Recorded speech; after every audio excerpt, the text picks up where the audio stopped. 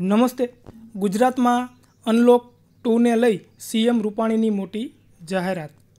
તો અમલમાં આવનાર ગાઈડલાઇન્સ ગુજરાત સરકાર દ્વારા જાહેર કરવામાં આવી છે.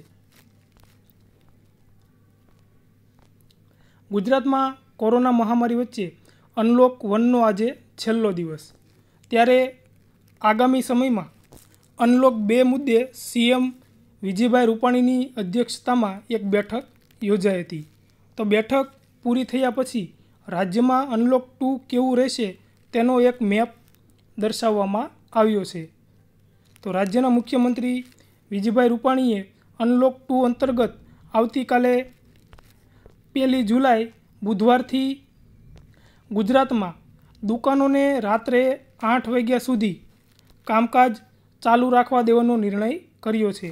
અને આના ઉપરાંત હોટલ અને રેસ્ટોરન્ટને પણ રાત્રે નવ વાગ્યા સુધી ચાલુ રાખી શકાશે તેવો વિજયભાઈ રૂપાણીએ નિર્ણય આપ્યો છે.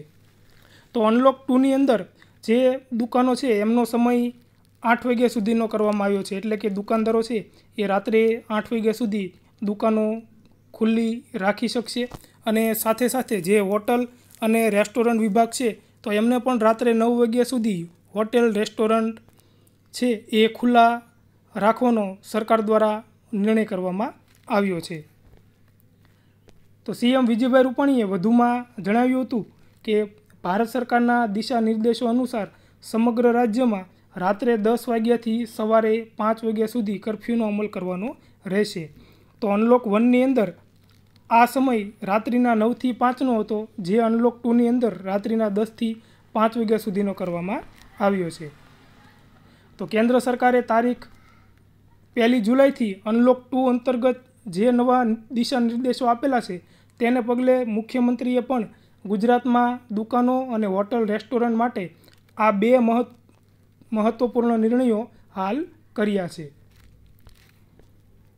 અત્રે ઉલ્લેખનીય છે કે અનલોક એકમાં સાંજના સાત વાગ્યા સુધી વ્યાપાર ધંધા અને રેસ્ટોરન્ટ ખુલ્લા રાખવાની છૂટ આપવામાં આવી હતી અને જ્યારે રાત્રિના નવ વાગ્યાથી સવારના પાંચ વાગ્યા સુધી કરફ્યુ લાદવામાં આવ્યો હતો.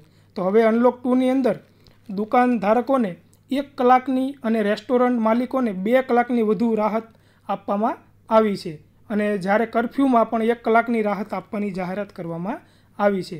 તો અનલોક ટુની અંદર આ ત્રણ જગ્યાએ છે. રાત્રિ કરફ્યુ, દુકાન, દુકાનો, હોટેલો અને રેસ્ટોરન્ટ.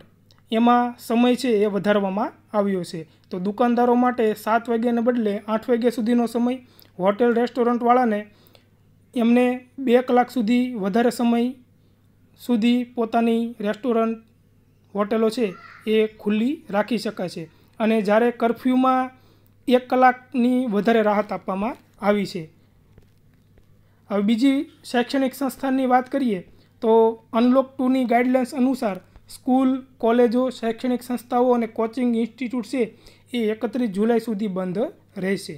અને જે આનું ઓનલાઈન એજ્યુકેશન છે એ અને ડિસ્ટન્સ લર્નિંગને પહેલાંની જેમ મંજૂરી યથાવત રહેશે એટલે કે ઓનલાઈન શિક્ષણ છે એમને મંજૂરી આપવામાં આવી છે. પરંતુ સ્કૂલ, કોલેજો, શૈક્ષણિક સંસ્થાઓ છે એ રેગ્યુલર સ્ટુડન્ટો અભ્યાસ માટે જતા હોય તો આવી સંસ્થાઓ, સ્કૂલો, કોલેજો છે એ હજી એકત્રીસ જુલાઈ સુધી બંધ રાખવાનો નિર્ણય કરવામાં આવ્યો છે. અને સેન્ટ્રલ અને સ્ટેટ રાજ્ય લેવલની જે ટ્રેનિંગ ઇન્સ્ટિટ્યૂટ છે, એમને પંદર જુલાઈ બે હજાર વીસથી શરતોને આધારે શરૂ કરવાની પરવાનગી અપાઈ છે. તો કેન્દ્ર સરકારના ગાઈડલાઇન્સ મુજબ ગુજરાત સરકારે પણ આજે અનલોક ટુની જાહેરાત કરતાં માન્ય મુખ્યમંત્રી શ્રી વિજયભાઈ રૂપાણીએ મહત્ત્વના બે નિર્ણયો છે. એ ની જાહેરાત કરતાં જેમાં હોટેલ, રેસ્ટોરન્ટ અને દુકાનદારો છે, તો એમને સમય છે એ અનલોક વન કરતાં અનલોક ટુની અંદર થોડો વધારે આપવામાં આવ્યો છે.